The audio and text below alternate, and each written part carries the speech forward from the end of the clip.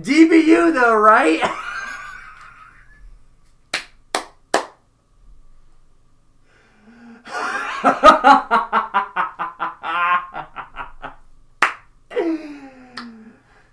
Jimbo doesn't know what he's doing. He's just gonna get dominated. oh, this is this is just absolutely incredible. oh no, Florida fans are finally brought down to reality. It's a sight to see, isn't it? I thought I thought Georgia was going to do the bidding for us, but you know, I, this is fine too. This is absolutely fine. I mean, this proves two things for us. One, Florida is not as good as we thought. Well, actually, no. Kyle Trask. Kyle Trask is an athlete. Unfortunately, Florida is the farthest thing away from DBU. The only team that could be less of DBU is LSU, who's currently giving up 45 points to Missouri. How in the world do you do that?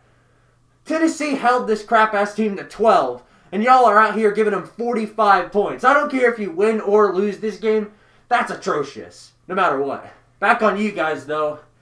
Y'all lost to Jimbo Fisher, the same guys who you thought were just a terror, just terrible. Terrible. Oh, we'll, we'll, we'll definitely beat those guys. They don't stand a chance. what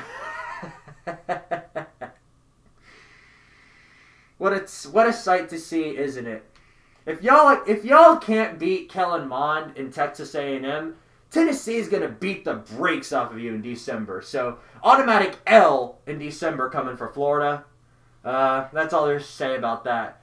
Tennessee Georgia game's about to start though. Uh, breaking news though: Tennessee's about to beat the beat the absolute bejesus out of Georgia. Won't even be close, and it's going to be a fun game to watch. And yeah, that's all I really have to say about that. This LSU Missouri game's about to wrap up. I guess I'll have thoughts on it on uh, Twitter. I don't know. They're at the goal line.